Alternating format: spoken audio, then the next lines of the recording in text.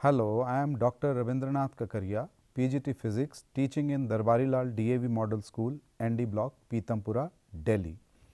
Today I will demonstrate you the production of induced EMF by electromagnetic induction. We have used a very simple apparatus. We have taken a CD. These are two neodymium magnets which have been glued with the help of a glue gun this is a cold drink bottle, cut it up to this size, place it, paste it on the CD. Another bottle which has been given this type of shape. So, this is one arrangement. On this cardboard piece, we have pasted another CD. This is a wooden block on which a long knitting needle has been connected these are two insulated copper wires. Two ends of this coil has been connected to this LED light emitting diodes. Similarly, two ends of these insulated copper wires has been connected to these LEDs which will glow when induced EMF will be created. Now, I will show you the working.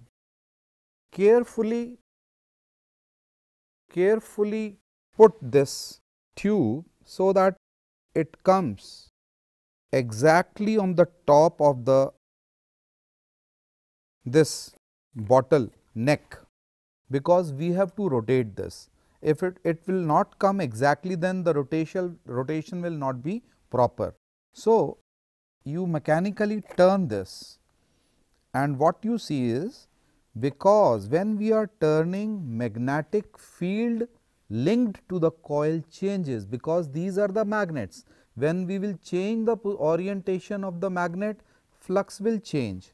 As a result, electromagnetic induction will be produced and you see there will be glowing of light in the LED. This process will take place only when we have given motion to the coils only then the light will be produced because according to the Faraday's law if we have d phi by dt flux must change with respect to time. If this is stable no light will be produced. So, with this experiment demonstration we have observed that induced EMF will be generated when we change the magnetic flux. Thank you.